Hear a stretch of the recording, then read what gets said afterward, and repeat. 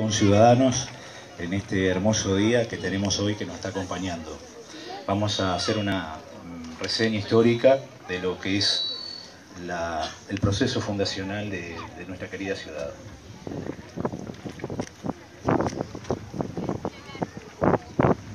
Un 16 de mayo, hace ya 135 años,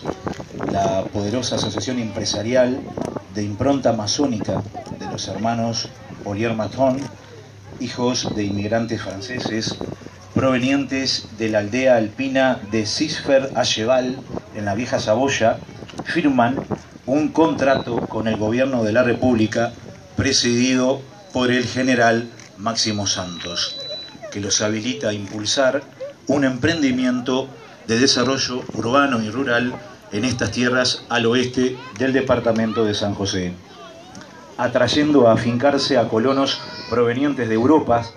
deseosos de establecerse con sus familias y comenzar una nueva y próspera existencia. Así nació la colonia agrícola y pueblo de Santa Esilda, en honor a la esposa de Federico Polié, doña Capdevila, Esilda Capdevila Reisach.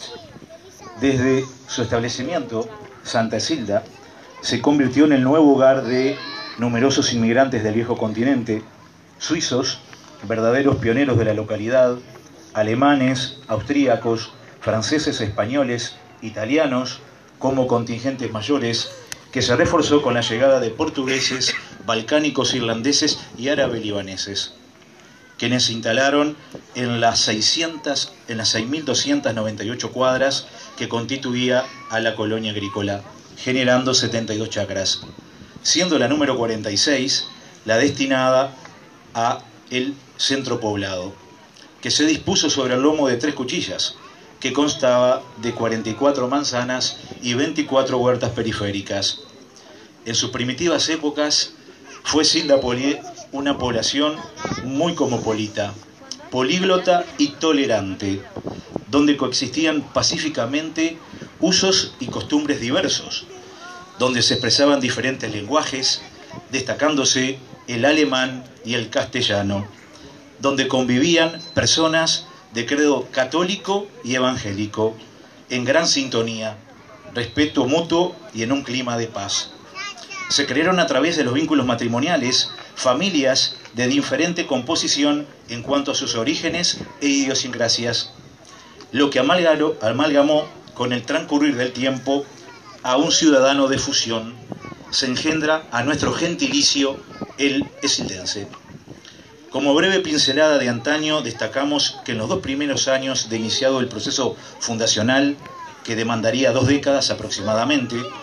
la población ya contaba con la capilla de Nuestra Señora de los Dolores, el cementerio, escuela pública, comisaría y una floreciente plaza pública los hermanos Poliet también se establecieron en la novicia colonia con su estancia escudero, vecina el arroyo homónimo, ejemplo de la actividad rural desde 1885, y a una legua de distancia edifican la cabaña Poliet, cercana a las aguas del Cufré, construcción que se convertirá en el símbolo emblemático de Silda Poliet.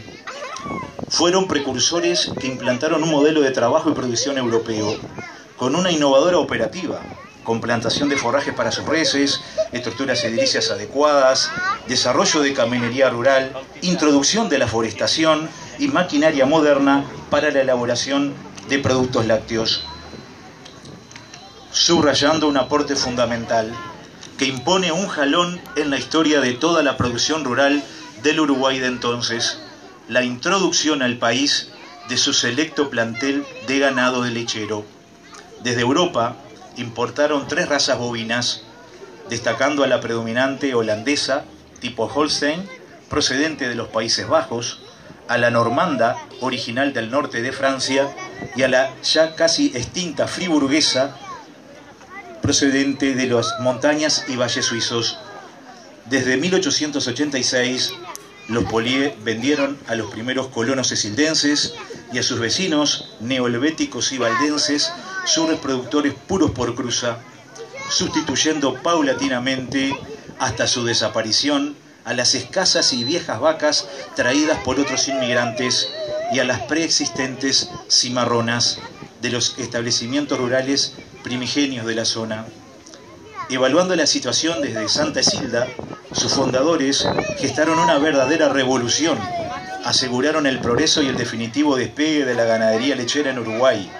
hechos históricos documentados que nos permiten afirmar a los esildenses con total propiedad que aquí nació lo mejor de la lechería nacional. Crearon una enorme quesería modelo, que conjuntamente con la constelación de tambos quesería que la rodeaban, contando con la tradición suizo-alemana y el esfuerzo franco-italiano, permitieron el extraordinario empuje de la quesería artesanal esildense. También fueron la primera cabaña del Uruguay en importar y criar caballos ingleses de pura sangre, bajo la égida de su estricto cabañero británico Mr. Smith, como lo nombraban respetuosamente sus subalternos, para utilizarlos en las actividades del turf, donde ganaron innumerables premios en las competencias hípicas, además de comercializarlos para el mercado del transporte de tiro. Para ejecutar este desafío contaron con un gran administrador de su establecimiento y de la colonia agrícola, el inmigrante suizo Federico Fischer, verdadero impulsor y artífice de nuestra localidad, secundado por sus asesores Germán Bonros y Fridolin Quinque, todos provenientes de la región madre de Colonia Suiza, guiando la expansión helvética a San José, logrando arraigar a numerosos inmigrantes suizos en Santa Isilda. Rememoramos del pasado, citamos otro ejemplo de cooperación y sólida empatía, en una clara demostración de mancomunión entre nuestros antecesores, que en el lugar del recodo del Camino Real en Santa Isilda, donde se desprendía el incipiente sendero inconcluso que dirigía a la desembocadura del Cufré, los pobladores erigieron una gran cruz de madera donde desde sus pies se celebraban animadas tertulias, concurrían allí procesiones religiosas con feligreses de los diferentes credos coexistentes, se desarrollaban eventos populares, siendo un referente punto de reunión del progresista poblado. Se la conocía como la Cruz de los Caminos. Era un sitio especial para compartir cómo era la naciente localidad para vivir. Es notorio que a pesar de las dificultades de su época,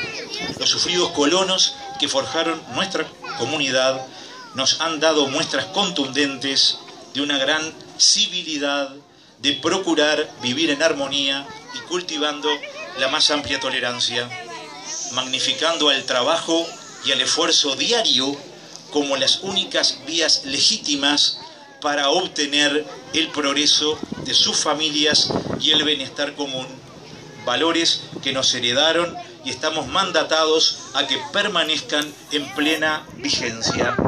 Y hoy, más que nunca, es nuestro deber cuidarlos y mantenerlos vivos como el mayor legado que hemos recibido de los esforzados fundadores, que son nuestros antepasados, honrando así su memoria.